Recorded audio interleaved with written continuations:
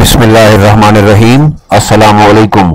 میں ہوں ابو ذر غفاری، آپ دیکھ رہے ہیں میرا یوٹیوب چینل پنجنت نیوز۔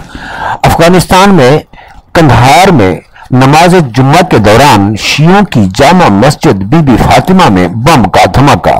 کم از کم بتیس افراد جام بحق اور نوے سے زائد زخمی ہو گئے ہیں۔ افغانستان کے شہر کنہار میں شیعہ برادری کی جامع مسجد بی بی فاطمہ میں جمعے کی نماز کے دوران ہونے والے بم دھماکے میں کم از کم بتیس افراد جام بحق اور نوے سے زائد زخمی ہوئے ہیں۔ یہ دھماکہ اس وقت ہوا جب مسجد میں نماز جمعہ کا اجتماع جاری تھا۔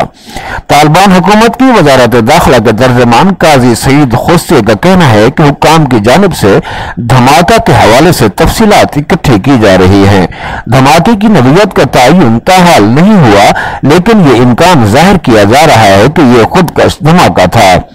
ایک اینی شاہد نے فرانسیسی خبر رساں ادارے اے ایف پی کو بتایا کہ اس نے مسجد کے مرکزی دروازے پر تین دھماکوں کی آوازیں سنی جہاں لوگ وضو کرتے ہیں۔ ایک مقامی ڈاکٹر نے بی بی سی کو بتایا کہ زخمی نمازیوں کو میر وائز ہسپتال لے جایا گیا ہے۔ طلوع نیوز ٹی وی کے مطابق یہ دھماکہ کنہار شہر کے پولیس ڈسٹرکٹ ون میں جمعے کی نماز کے دوران ہوا۔ نیوز چینل کی ویب سائٹ پر شائع ہونے والی رپورٹ کے مطابق اینی شاہدین کا کہنا ہے کہ مرنے والوں کی تعداد بہت زیادہ ہونے کا خدشہ ہے۔ تاحال سرکاری ذرائع سے کوئی مصدقہ تعداد نہیں بتائی گئی۔ اس حملے کی ذمہ داری فی الحال کسی بھی تنظیم نے قبول نہیں کی ہے۔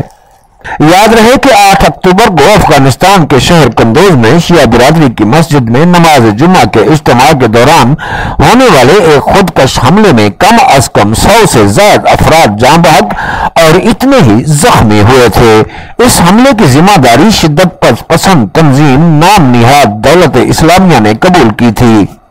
دولت اسلامیہ ماضی میں بھی متعدد مرتبہ افغانستان کی شیعہ برادری کو نشانہ بنا چکی ہے۔ اس خود کا حملے کے بعد وائرل ہونے والی تصاویر میں کندوز کی سید آباد مسجد میں لاشیں اور ملبہ دیکھا جا سکتا تھا۔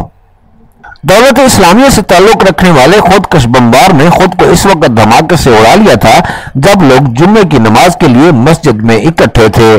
کندوز میں ہونے والے حملے کے دوران مسجد میں تین سو سے زیادہ افراد موجود تھے۔ ناظرین، یہ تھی افغانستان کے متعلق اب تک کی اہم خبریں۔ اپنا خیال رکھیے گا۔ اگلی خبر تک کے لیے ابو ذر غفاری کو اجازت دیجیے۔ اللہ حافظ، پاکستان، زندہ باد۔